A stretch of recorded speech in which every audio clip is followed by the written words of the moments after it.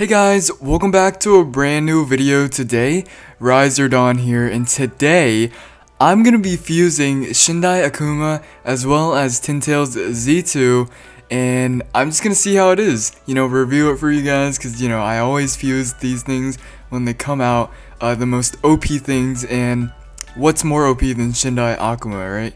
So today, um, I'm just super excited to show you guys, and I hope you guys enjoy this one. Don't forget to drop a like down below, because uh, I know you guys are gonna like this, and to subscribe for more exclusive Shindo Life content. And without any further ado, let's get right into the video. I hope you guys enjoy this one.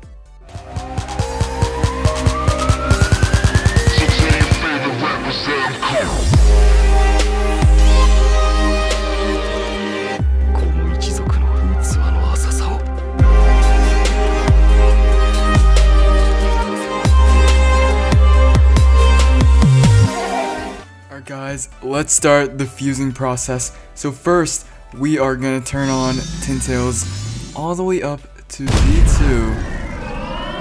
And then turn on Shindai Akuma.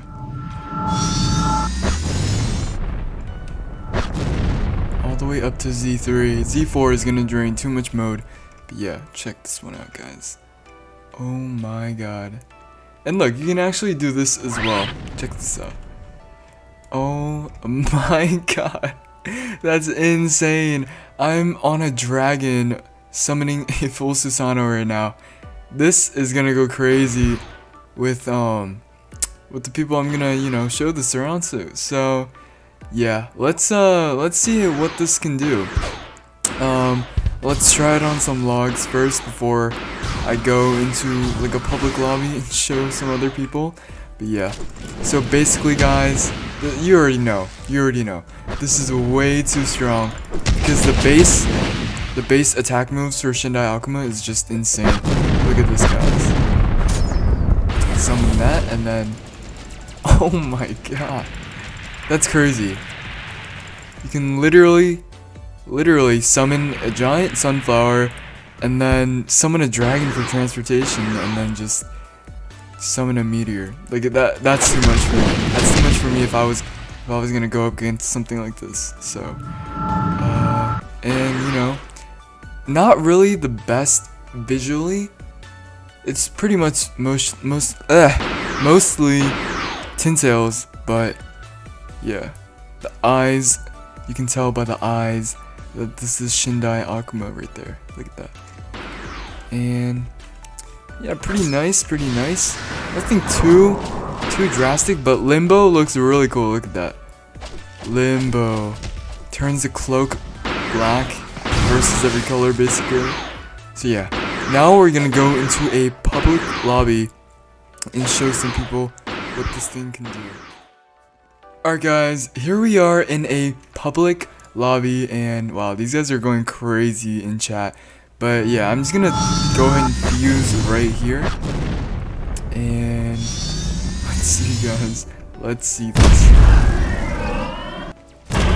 Let's just let's just wreak havoc right now, you know? Let's wreak some havoc right now. Oh my god, look at that guys.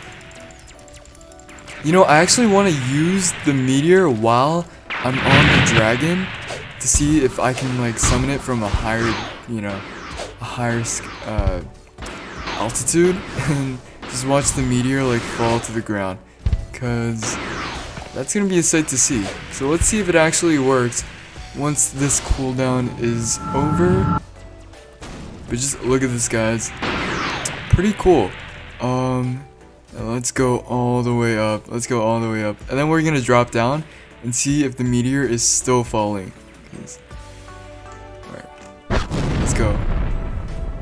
Oh my god. Okay, so it okay, so it does kind of just have a certain range to it. Um, you can't like I guess summon it indefinitely and watch it drop. So I mean that's that sucks, but I guess that makes sense, right? Because if it had an infinite distance, that'd be kind of OP. So, let's just look at this. Maybe I was too far up. Maybe I was like up in the clouds, so the particles, I guess, collided. I don't know. But let's try this again, guys. We're gonna do it below the clouds this time. Hopefully this doesn't end. Okay, this should be good. Right now. Yeah, yeah, look at that. Okay, so, I mean, it reached pretty far, but it still was limited in the distance it could travel, but, know, still really good. Look at, like, Tyn Tails, you can't go wrong with this, like, come on. And then I could just summon the Dandelion, or the Sunflower, and just cast the Genjutsu over the whole village. Look at that. That's insane. And then watch the meteor drop. That's actually crazy. That's a sight to see, isn't it? Pretty good. Um, if you guys haven't already, you know, if you guys don't already have Shin Shindai Akuma, you definitely should go spin for it. Um, you know, however you can. Definitely utilize that free reward system to get your spins and Ryo. Um, but also, you should, uh, just try to do those daily missions. Uh, the new story missions and the Great Shindo Award just came out, so those are pretty good, you know, reward systems. But I guess the free reward system is still probably the best for passive farming. So yeah, definitely do that if you want to get Shindai Akuma if you don't already have it. And to just, I don't know, use Tyn Tails and Z2 together. Tyn Tails, Z2, and Shindai Akuma together if you haven't already because it's definitely very, very powerful. You don't want to miss out on it. Oh my god. But yeah. Holy god, guys are going crazy. Yeah, check that out guys. Just watch the meteor drop. But yeah, that's pretty much it for this video. Um, if you haven't already fused Shindai Akuma and Tyn Tail Z2, you definitely should do that. I mean, it's... You guys won't regret it, honestly. Just don't turn on Z4 or else your mode might drain like crazy. But, yeah. The new Shindai Akuma release, it's it's way too strong. Like, it's... It might have gotten a nerf that second move, but it, it's still it's still really, really good. Because, check that out. The Genjutsu, the Susanoo, everything about it. So, yeah. I hope you guys enjoyed this video today. Don't forget to drop a like down below if you did enjoy it. And to subscribe to my channel for more exclusive Shindai, Shindo Life content. And I'll see you guys in the next video. Peace out.